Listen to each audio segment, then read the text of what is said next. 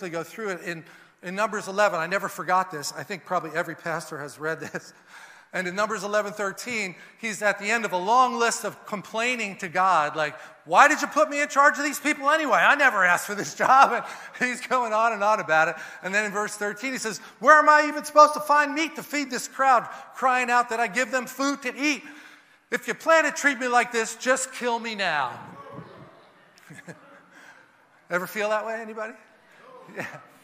Some, some hands are going up because I'd really wish you just put me out of my misery so I don't have to live out of this distress. And if we were honest, we might not say it in those words, but there are times when we're just, we can get angry at God. Like, how come you're not coming through? I've been praying such a long time. And I'm not asking you to deny facts. I'm just saying, think of the bigger, excuse me, think of the bigger picture. That you're here for a purpose. And if the devil can distract you on the minors and get you to major on the minors, he can keep you away from the full flourishing, because that's what it said, right? that I, I'm going to thrive after surviving. I don't want to just live a life. I want to be living a flourishing life in the Lord after surviving this perfect storm from hell. So you're you're operating from a different kingdom, and the people in the world don't have the tools you have, and they're looking at you going, Wow, you went through the same thing I did, but you don't seem to have the same reaction. That's the living out of the gospel. You're supposed to be an epistle read by all men. We'll get to that one. And, and Moses clearly has a reason to be frustrated. And then they come to him in Numbers 20 and they say to Moses, Why in the world would you drag us out of Egypt into this wilderness where we'll soon die? After hearing them out, Moses and Aaron walked away. At the congregation tent opening, they collapsed to the ground and interceded for the people. So, what would you have been asking God to do at that point? Nuke them? Some of us might get, like the apostles did that. Lord, can we call down fire from heaven? And he said, Oh, you don't know the spirit that you're of. I'm here to save lives, right? not to take lives. So they fall down and they intercede. And when they intercede for the people, the eternal, this is the passion, I'm sorry, the uh, voice translation, he calls them the eternal. It's the glory of the eternal God shown for them to see. And he spoke to Moses. So God is speaking to Moses directly, whoa, and Aaron.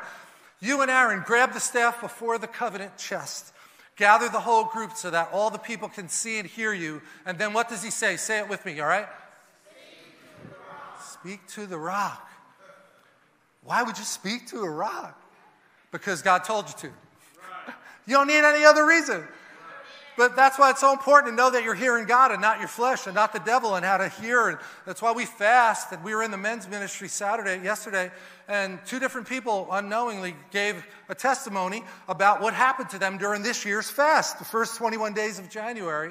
And they credited the fact that we were in this fast and God showed them something. Isn't that cool? It was awesome meeting yesterday for the men. So you guys, you know, Thursday mornings we do a call. It's been really great. You can you can join the Zoom call, and then once a month we're going to be meeting here as well. So they get the order to speak to the rock. And then God says to them, Tell it to release its water for them to use. In this way, you'll get water from the rock for everyone to drink, including all the animals. So Moses took the staff just as God told him. Then he and his brother gathered all the people in front of the rock. And Moses, talking to the people, says, Listen up, you rebellious lot. So that's probably not a good precursor of the kind of condition he was in. But do you get that way sometimes? Let's just be honest, folks. Yes. Okay? We don't become perfect people when we're Christians, but we get tools to know how to pause before the Lord and say, I don't want to minister in the wrong spirit. I want to do it from your heart. I don't want to manipulate people. I don't, you know, wow long list of things that you could minister from the wrong spirit. Lord, I want your heart to be reflecting through me to them because that's the real change. That's when the real change happens. So, should we get water from you from this rock, he says? And as he spoke, Moses raised his hand and hit the rock. Once, twice, and immediately the water came gushing out. they all drank their fill, people and animals alike. But the Eternal One scolded Moses and Aaron for their actions because you didn't trust me. I don't know if you would have thought of that being what God would say. How did they not trust him? He said, Speak to the rock. But there was enough bubble and anger and frustration on the inside to strike the rock. So he was disrespecting God by doing that because he was reflecting the wrong spirit to the people. And I had that picture of God when I was growing up that he was angry, and I was hoping to just avoid him. So if I slipped by again today, I didn't get squished. No, that wasn't a healthy way of thinking about it. Of an angry God that's ready to punish instead of a loving God whose arms are open and ready to, to receive me. And I think, you know, we could talk about it another day, but there's, a, there's a, an increase in what God expects of us the longer we serve Him. That's in James. He said, Be careful if you're going to be a teacher because you're going to be held to a higher standard. I don't want my people hearing something that you just cooked up in the kitchen. I want you to teach the truth of the word because he cares about you all and, and all of us, right? So the person who gets up here should have a fear of the Lord that you're not doing it for your agenda, you're representing God's agenda. And that's a very humbling thing, don't you think? And uh, you don't want to be wrong like they were. And then I'm going to just tie it in with a New Testament uh, picture that probably most of us know and just try to share the picture that the Lord gave me around this. It's John chapter 7, also in the voice. It says in verse 37 On the last day, the biggest day of the festival, that was the Feast of Tabernacles in the Bible that Jesus was attending. Jesus stood again and spoke aloud If any of you is thirsty, come to me and drink. If you believe in me, the Hebrew scriptures say the rivers of living water will flow from within you. How many know what that means? Yes. What is it? Say it out loud. Holy Spirit, right? Rivers of living water will flow out of you. Isn't that a picture of what happened in the Old Testament? When the rock opened up and water came out. And there was a time in Exodus 17 when God did tell, did tell Moses to strike the rock, right? So there was a history there, but this time God said, Speak to the rock.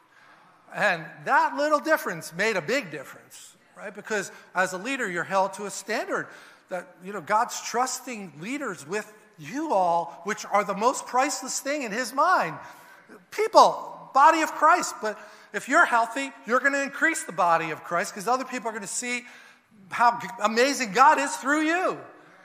So mistreating them is not okay. Mistreating you all is not okay. And, and here's the picture, okay? So I've been in enough Bible studies to hear this about Moses, and they're in a desert, right? The water is not far from the surface, but what's blocking it? Rock, right? And they don't have a jackhammer. They, even though the answer is not far away, it's below this impenetrable surface with natural tools. And God is saying, out of your belly will flow rivers of living water. Right? But if we get judgmental and legalistic and, and we give other people an image of an angry God that hates them, and if they don't say yes to Him and they get hit by a bus tonight on their way home, you're going to die and spend eternity in hell. That's really not a coherent picture with the way Jesus spoke to people. That's not wrong. I mean, it's, it's true that they need to accept the Lord, but are we modeling something that they feel is coherent with a message of love? And I'm not saying just tell them whatever they do is okay. But when we are obedient to Him, that rock disappears and the water of, of life comes out of us. That's pretty exciting, don't you think? That God would use me and you. Many of you probably feel like me that if I didn't get saved, I wouldn't even be alive today. That's how bad my decisions were. So the fact that I'm not just alive, but He would actually use me to help other people to find Him, which is the greatest thing anybody could ever find, right? There's no better news than the gospel. And yet he would use me if I'm surrendered. That's really where I'm going to go. Uh, I have to be the person who will let the, the water flow through the right channel, right? And not that angry channel that, that Moses fell into because I'm in a bad mood or because things aren't going the way that I was expecting them to go. So, just a couple of New Testament verses, and, and we'll try to bring, tie it up and, and see if it makes sense to you. All right, so this is one, I'm guessing I already quoted it, so you probably knew it. 2 Corinthians 3 says, Paul talking to the Corinthians, not an easy book to read because he's upset with them, and he's, he's doing a lot of correcting in 2 Corinthians, right? But here he's saying, You are our epistle written in our hearts. That's beautiful language, isn't it? So he was there, he won them to the Lord, and he's saying that the evidence of your serving the Lord is, is an open epistle. Like you guys are the epistle, not something written down. You're written on our hearts and you're known and read by all men. Clearly, you are an epistle of Christ. You know what I'm talking about, right? So that people could watch you and they're reading the Bible in your actions. Well, they're reading something in our actions. we want it to be the Bible. So maybe take a fast from Facebook for a little while and look back on your comments and say, Was I reflecting an epistle in, in, in those comments? And look, I'm not trying to be condemning, I'm just saying everything matters to God. Everything we say, like every word matters. So be careful. That's all. Be careful that you don't do what Moses did and let your emotions get in the way and release the wrong thing when he cares so much about other people and how we treat them. All right, so clearly you're an epistle of Christ, and basically he's saying ministered by us. In another translation, it says, We were the ones that were writing it down, written not with ink, but with the Spirit of the living God, not on tables of stone, tablets of stone, but on tablets of flesh. That is of the heart. And look, you know, I don't know how to explain it easily, but you all know that Jesus wasn't religious, right? He, he had a relationship with the Father, and that's what got us in the kingdom. Religion, you know, kills. The letter of the law without the Spirit kills. The Father's seeking for those who worship Him in spirit and in truth. It's important to know the truth, but it's also important to deliver it with oil. There's got to be some compassion. There's got to be uh, an ability to say, Lord, not just what to say, but how to say it, and deliver the truth, but do it in love. Don't tell them what they're doing is okay if you know they're in sin. That's not loving them. But do it in a way that they can hear you. I could show you so many examples of Jesus doing that in Scripture. But for now, let's just think about this one. 2 Peter chapter 1, verses 3 and 4 says, His divine power has given to us all things that pertain to life and godliness. Can you say all things? All Look at somebody, say all things. all things. That's an important phrase. Everything you need, He's already given to you. But are we accessing it? Are we unpacking it properly? Do we understand it properly? And, you know, if I had to give a scene in a movie, which you know I like to do because it's easy to remember, you might remember the movie Sully. And, you know, we're so close to New York City here. It was that miracle on the Hudson, 2,800 feet in the air. They hit a flock of geese, and 208 seconds later, they were on the water in the Hudson River. So that's three minutes and change, right? You didn't have a lot of time to think. Anybody know the scene I'm talking about in the movie? When he's sitting before the Inquisition and they're running the models and they're showing him, well, we did the simulation, and the simulation shows you could have made it to Fort Lee and you could have made it to LaGuardia. And it's like, oh, really? Because I love the scene. He goes, let's get serious. After they make the charge, he goes, let's get serious. And, and everybody in the audience is like, what are you talking about? You know, he, he said, basically, you took away the human factor. Nobody has ever lost two all engines at 2,800 feet with a full load in a plane that size. You ran your simulation, but I'm curious how many times did they get to practice the simulation? They knew immediately that they're supposed to turn. How many times? Remember the number? 17 times. They already knew what to do, and it still took them 17 times to practice it. And the whole audience is going, oh my God, how did we miss that? Where's the human factor? And that's what I want to just say today is that's missing in a lot of, of, of the religious approach to talking to people about God. You can't forget the human factor. You have to build a relationship with people. They've got to know you and trust you and, and respect you if you expect them to trust what you're saying.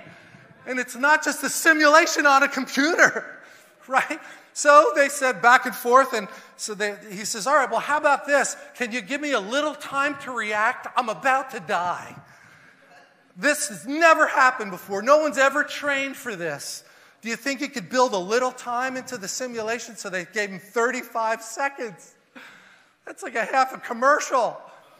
35 seconds to save 153 or 155, I forget now. All those things are going through your head at the same time. He didn't have time to open the glove box and look in the manual. He had to react boom, boom, boom, right at one, right after another. And it's ironic because he's a glider pilot by training, you know, talk about the right person at the right spot. And in fact, they looked at it afterwards. If he had done what was in the manual, they would have all died. But because he was so familiar and he so reacted, it was second nature saved 155 people. I don't know if you see the movie, at the very end, they bring the survivors into the airplane hangar. And he says, It really hit me. It wasn't just the people on the plane that we saved, the ripple effect of all those other people that were related to them that were there. And, and you see somebody's face come up and she says, 15B, 22C, all the different blah, right? Because one guy kept his cool, didn't panic. It's really hard not to panic when you think you're about to die. And that's what Holy Spirit will do for us. That's what I'm asking you to do is trust him not to just give a religious answer, speak the word, do it in love, but also say what we said today, I'm not enough unless you come. But when you come, boy, we can get great things done for the kingdom, right?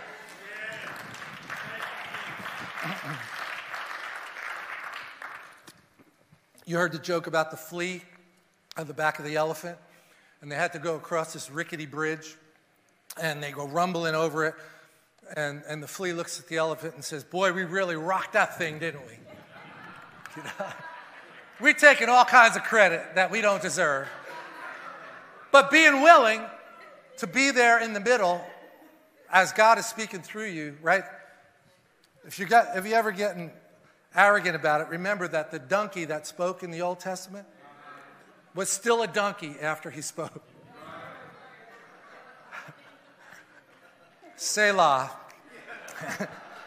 He's given me and you all things that pertain to life and godliness. That's such an awesome thing to think. I don't know how to apply it all yet, but it's been given to me. So if I dig in the Word, that I could find the treasure of the Word, for all the knowledge of Him who called us by glory and virtue, by which have been given to us exceedingly great and precious promises, that through these you might be a partaker of the divine nature when Moses struck the rock, he was not partaking of the divine nature. That was his carnal nature. His frustration and his anger was coming up to the surface. It doesn't mean that you, you, don't, you can't ever be angry, right? Because the Bible says, be angry and sin not. It also says Jesus was angry and never sinned.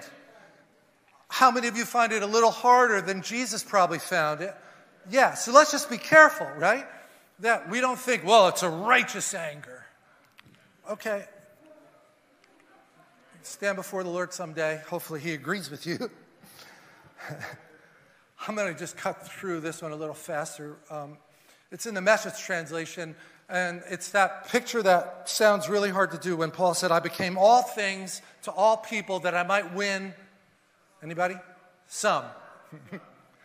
you're like, wow, would have thought he would have said all. But he's recognizing all we can do is our part, right?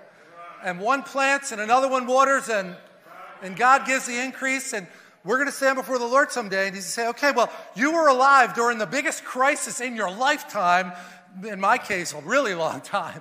What did you do to help people understand there was a better message? Because you're probably never going to have a more open time than right now to talk to people about how important the Lord is in their lives. They just lived through a year of lockdown, and fear is just rampant still, right? And I, don't shame them. Don't shame people if just because you don't agree with the way they're thinking about mass or the other things. It's like, no, this is an opportunity to talk to another person that God loves. And he really cares about how we approach him. So he says this, Paul, I voluntarily become a servant to any and all in order to reach a wide range of people. And then he lists a long list there that I spared you of. But he said, I didn't take on their way of life. I kept my bearings in Christ, but I entered their world and tried to experience things from their point of view. That is profound. Not everybody's taught that. You know, when I was a new Christian, I was taught to go to the park and hand out tracts and, and give people the message, which is fine. I'm, again, I'm not criticizing that. It's still evangelism, it's good to do it, but it's that Holy Spirit piece, that little bit of a different piece that really can cross us over and not just look like uh, it's too mechanical. People are not mechanical. They're, they're alive. They're hurting. They don't know whether they should share their heart with you. But one of the ways you know this is working, but people, people will be talking to you and they'll say, I don't know why I'm telling you this. I never say this to anybody. You know, so that's a sign that the Lord is there, right? That there, there's something happening in the transaction where they trust you. I entered their world and tried to experience things from their point of view. I didn't take on their way of life. I kept my bearings in Christ, but I entered their world. This could be 30 seconds, right? Like the, it's not a big long thing. It's just asking the Lord, show me what you see. I don't want to look at what I'm seeing. I want, I want to see what you see when you look at that person. Because I don't want to strike the rock. When you say speak to the rock, the water's just right here, ready, flow out of me. Rivers of living water. That means the word you use could save someone's life. Right. That's a pretty big responsibility, but I'll tell you what be prayed up before you leave the house in the morning. Right. And if you're driving towards New York, really be prayed up. you could lose your salvation on Route 3.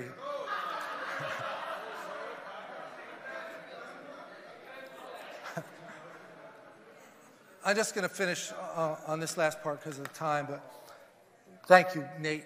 Every time I say I'm about to finish, Nate goes, ah. I love that. Thank you.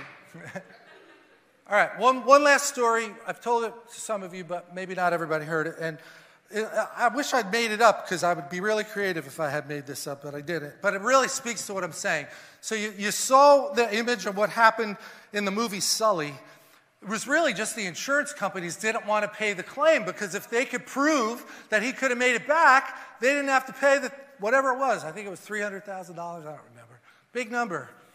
And uh, they run this simulation, and uh, you know anybody in Sully's Point would have said, "What are you kidding? You've never had to do anything like this. You don't know what it was like to be in that cockpit." And then they actually played the tape of them in the cockpit in that 308 seconds, 208 seconds that they had. And then the people on the, on the panel, the inquisitors, basically go, wow, that's the first time we ever played one of these tapes when the pilot was still in the room. oh, man. And they asked the co pilot, is there anything you would have done different? Remember this one? And he says, yeah, I would have had it done in July instead of January. so he kept his cool, right?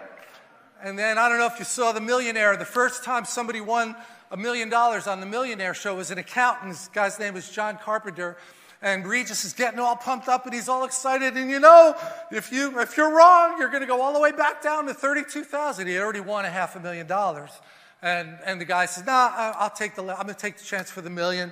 And he gives him the question and he sits back and says, I'd like to use my lifeline. I want to call my parents. And then he says, I want to call my father. And, and Regis is like all pumped up, you know, your son's about to win a million dollars. And the father's all excited. And he says, okay, you got 30 seconds. Read your father the question. And the guy goes, hey, Dad, how you doing? Not in any hurry. I don't really need your help. I just want to tell you I'm about to win a million dollars. Oh, I'm telling you, it's awesome. It's being present to the moment. See, like how many people would be that calm inside when you're about to. Nobody had ever won a million before. But like he just thought it through. He was present, he wasn't panicked. And then the last one I'll give you before I read this last verse is when I was 17 years old. I was uh, at a concert, played guitar, right? Even then. And there was two people playing in a small theater. One was Les Paul, the guy that made the guitars, who was a legend, and the other was George Benson, who was also a, a, a legend but it was only a 100 seat theater where we were. They weren't that well known, and that would have been 74 or 5. So you're all doing the math of how old I am. so um, we tried to sneak in the back door and ask Les Paul if I could go in as his son so I wouldn't have to pay for the ticket. And he laughed. He thought that was really creative, but he said no. And so we had to pay. And uh, as they did their set and they're about to take a break, and before they walk off, this, that was a stage, this is not. George Benson just felt like telling a story. And he said, When I was 19 years old, which would have been, I don't know, at least 10 years before that, where we were, he said, I was playing uh, a jazz concert with Miles Davis and John Coltrane. And he was the guitar player at 19 on the stage with those guys. And that, the way jazz works is it's very improvisational. There's just a structure of chords, but then each player gets to take a solo, and everybody in the audience is sophisticated enough to know when that solo ends, they'll, they'll give you a hand. And then when, so Miles Davis goes, everybody claps. John Coltrane goes, everybody claps. And now it's George Benson's turn, right? So you'd be a little nervous, wouldn't you, after those two guys? So he goes third. And now the audience claps louder for George Benson than the other two. That's pretty cool, right? So they go for their break, and John Coltrane, who became a Christian before he died after a really rough life, he looked at George Benson and said, Hey, kid, that was really good. Don't ever do it again. now, I know why most of you are laughing right now because you think John Coltrane somehow felt stood up. Not the case. See, like we just assume that. Jazz is improvisational. You never play the same thing twice the same way. It's part of the art is that you won't do that. And it's so Holy Spirit, right? Because the, if this exact same group of people showed up next week, it still wouldn't be the same group of people because we'd be a week older. Right? And things would have happened during that week. We're the same bodies, but like this is how much God cares. And he was saying, don't sell out your soul. And sorry if you're in a wedding band, but that could kind of be how it feels like, YMCA. Like, I don't want to be that guy. You know, like you're playing the same song the same way every week. And if I burn that picture in as, as a religious Christian, good. Because, you know, like you don't accomplish anything if you don't take a risk. And we just get so worried about our reputation and what if this and what if that and what if I don't do it wrong? Well, what if you don't say anything? Then the living water was right below the surface. But nothing broke through because you have to take that initiative to break through. Speak to the rock, don't strike the rock. Oh, thank you.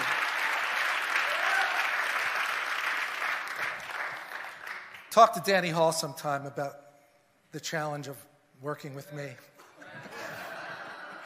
so grateful for his patience. So this says our ancestors were guided by a cloud that moved ahead of them, right? This First Corinthians, so Paul's talking to a group of pretty carnal Christians, right? Weren't a lot of Jewish people in Corinth, but the believers were, were, were sincere, but they were operating out of their flesh a lot. There's a lot in, in 1st and 2nd Corinthians about the gifts of the Spirit and trying to help them understand that. So he's like, our ancestors were guided by a cloud that moved ahead of them, and all of them walked through a sea on dry ground. In the cloud and in the sea, all of them were baptized as followers of Moses, which, you know, there's other ways you could say that. But the point is, they made it out the other side. Now, we're coming up on Passover, right? That's the first of the three big feasts that Jesus told us to celebrate, that the Word of God tells us about. It represents deliverance coming out of Egypt. How many of you were in Egypt? I'm not talking about the real country now, just in case you're wondering. No, right? You were in sin. You were a slave to sin. And any Egyptians here, please don't be offended if we're going to use that uh, politically correct angle. We're not talking about real Egyptians. We're talking about what it represented slavery for hundreds of years. And boy, this is a big celebration because nothing else could get them out but miracles. And it was the blood on the door. Like, oh boy, pretty clear picture there, huh? So they came out, they walked through the sea on dry ground, and the cloud and the sea, and all of them were baptized as followers, and all of them ate the same spiritual food. That would have been the manna, right? And all of them drank the same spiritual water, for they all drank from the spiritual rock that traveled with them. Can you picture that now, today? We're still traveling with the spiritual rock, because he says right there that rock is Christ. And Christ has allowed you to become a partaker of the divine nature.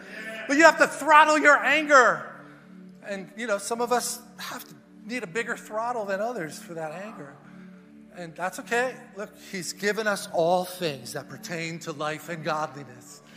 And we'd like to just say, well, no, that's just not how I'm wired. That's not my temperament. Look, like I said, you're coming out the other side resurrected. You need a new passport picture because you're not the same person. You're alive in God. Speak to the dry bones and tell them to live that's how all of us are. Come on, let's stand up and, and let's just seek the Lord about actually trying to apply this in our everyday life. That's the hardest part about all of this. We're so easily just going to the computer simulator or we're playing YMCA the same way for the 500th time. It's like, no, Lord, I don't want to live that way. I don't want to be a religious, structured person where, where that becomes the law, the letter that kills. But I also don't want to be the fruitcake person out here who's just not tethered to any reality of the word, right? Because there's extremes on both sides. And you know, the charismatic Pentecostal movement has had plenty of black eyes from people that got caught up in the excess of the Holy Spirit piece. But look, we have to live now, here, today, in this region. And there's a lot of intellect and a lot of wealth and, you know, all people on all different parts of the spectrum. Every one of them is special to God. The Bible says He doesn't want one person to perish. Not one. So think of the person you want to perish right now. Right? If you're angry at somebody, it's like, well, it wouldn't be a bad idea. No, that's not sowing and reaping, right? Let's just let's just dig in and say, Lord, it doesn't matter what I'm seeing in the natural. I know you could change anybody. Like you have this amazing ability to be present to every moment in my life. So let's just lift our hand and ask the Lord. Just say, Holy Spirit, come in in a fresh way.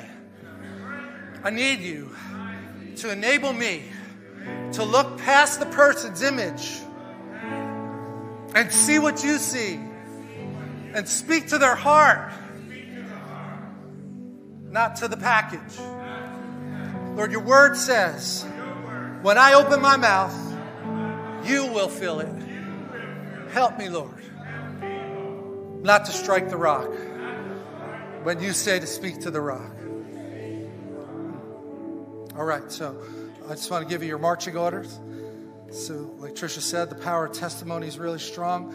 Let's try to live the week where we can come back next week and talk to people and say, man, I tried what he said. It worked. It was really cool. I didn't get the response I thought I was going to get because I took a little risk and I, and I, and I went out on a limb for Jesus.